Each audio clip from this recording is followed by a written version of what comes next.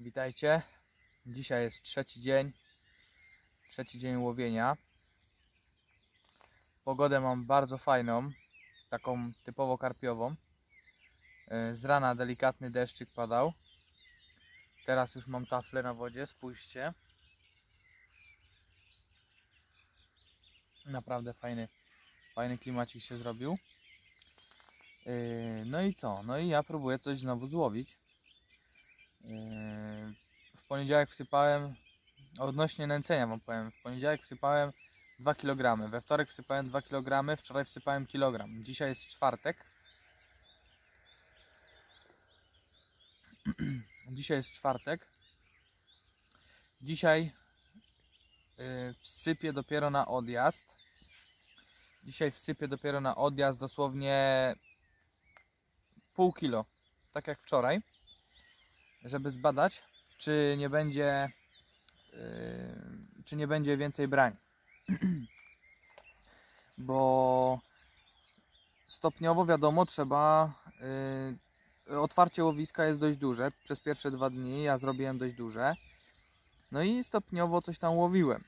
Ale też chcę zobaczyć, ciekawości nawet, yy, dla wiedzy, jak będzie to skutkować, gdy będę sypał tylko po mm, pół kilograma. Nie to, że mam mało kulek czy coś, bo kulek to mam dość dużo. Tylko po prostu chcę sam osobiście zobaczyć aktywność ryb i yy, no i dzisiejszy dzień właśnie tak będzie wyglądał. Czyli bez nęcenia cały dzień i zobaczę co się da wypracować. Yy, moim zdaniem karpie będą szukać, yy, moim zdaniem karpie będą szukać tych kulek i mam większe szanse na złowienie karpi jak nie do nęce, ale jest też coś takiego jak yy, jak karp drugiego karpia pobudza do żerowania. Jeżeli jeden się schyla, po kulki zżeruje, to automatycznie interesuje to inne karpie. Yy, no i jak karp żeruje, to on daje znać innym karpiom, że coś się dzieje.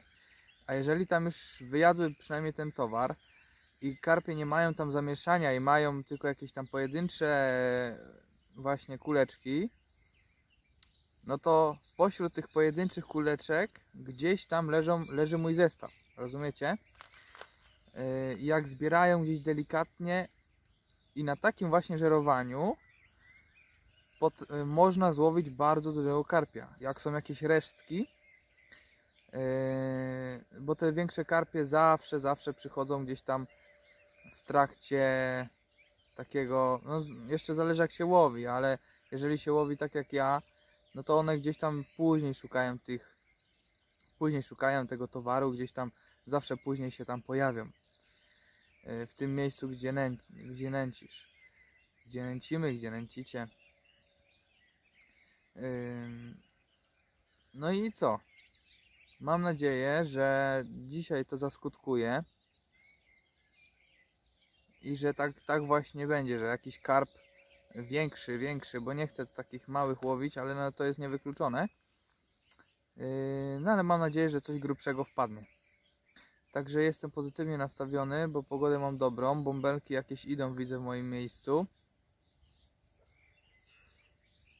A sobie właśnie kawkę zrobiłem, bo po tym deszczu to kurde troszkę chłodno było.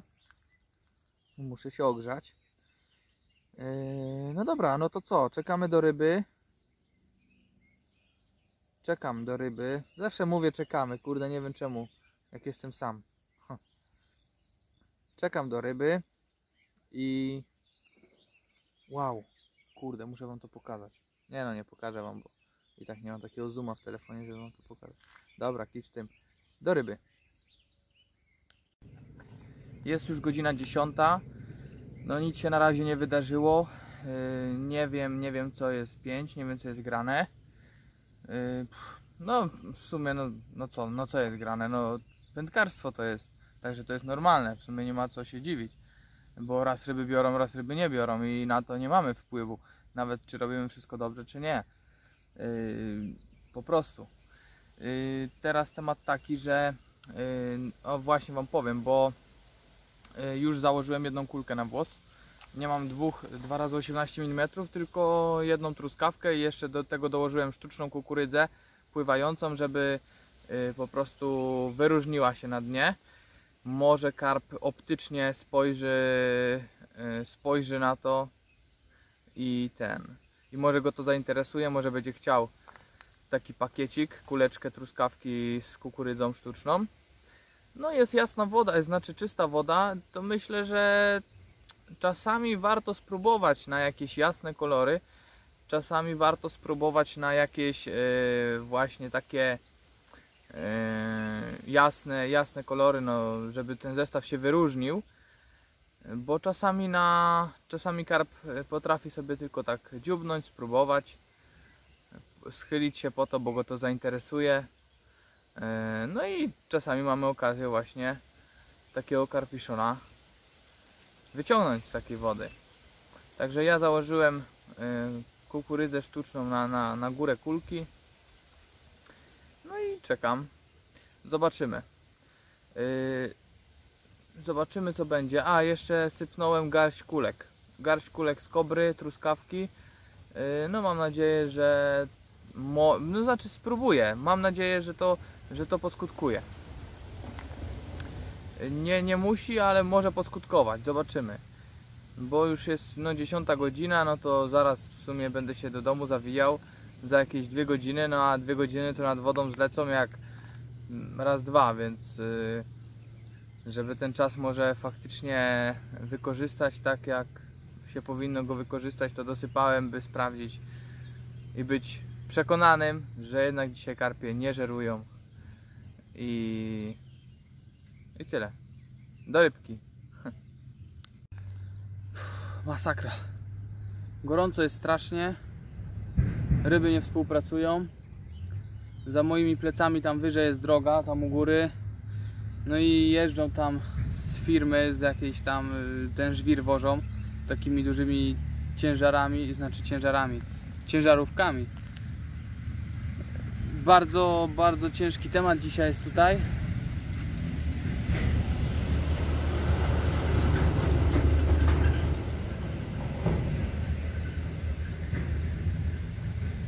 Bardzo ciężki temat jest dzisiaj tutaj.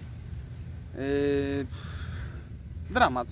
Przejechała najpierw jakaś spycharka, co o potężnej masie, co jak jechała to aż wędki mi drżały.